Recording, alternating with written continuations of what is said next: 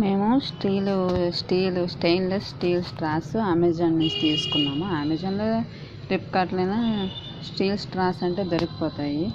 మీరు కావాలంటే తీసుకోండి మీ ఇష్టం అది. కానీ వెరైటీగా ఉంది కదా బాగున్నాయి కదా ఇవి.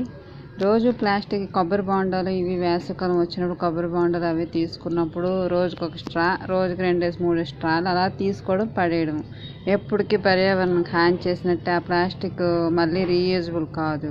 అదే స్టెయిన్లెస్ స్టీల్ తీసుకుంటే మంచి స్టీల్ కాస్ట్ ఎక్కువ ఉన్నవి మంచి స్టీల్ తీసుకుంటే మనకు ప్రాబ్లం ఉండదు. స్టెయిన్లెస్ స్టీల్ స్ట్రా తీసుకుంటే మళ్ళీ యూజ్ చేసుకోవచ్చు మనము. ఎంత బాగున్నాయి స్ట్రాంగ్గా ఉన్నాయి. థిక్ పేస్ట్ స్మూతీస్ అలాంటివి కూడా ఇవి వెడల్పుగా ఉన్నాయి స్ట్రాస్ కాబట్టి అవి కూడా బాగా ఉంటాయి. దీనికి ఒక చిన్న బ్రష్ కూడా ఇచ్చాడు.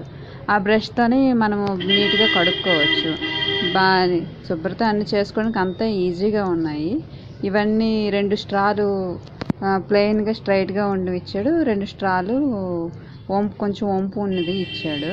రెండు స్ట్రాలు క్లీన్ చేయడానికి చాలా ఈజీగా ఉందిలేండి బ్రష్తోని. సన్న బ్రష్ చాలా బాగుంది అవి మరీ సన్నంగా లేవు. థిక్ పేస్ట్ నువ్వు కూడా మనం తాగొచ్చు అంత బాగున్నాయి. చాలా నీట్గా ఉన్నాయి. ఎక్కడ గరుకు లేకుండా ఈజీ ఈజీగా వాష్ చేసుకోవచ్చు కూడాను. ఉప్పు నీటిలోనే గోరువెచ్చని ఉప్పు నీటిలో నానేసినా అయిపోతుంది. చాలా బ్రష్ కూడా చిన్నది చాలా బాగుంది. రెండు వైపులా పెట్టేసి చేసుకోవచ్చు. బ్రష్ పొడవు ఆ స్ట్రాక్ సగం వస్తుంది.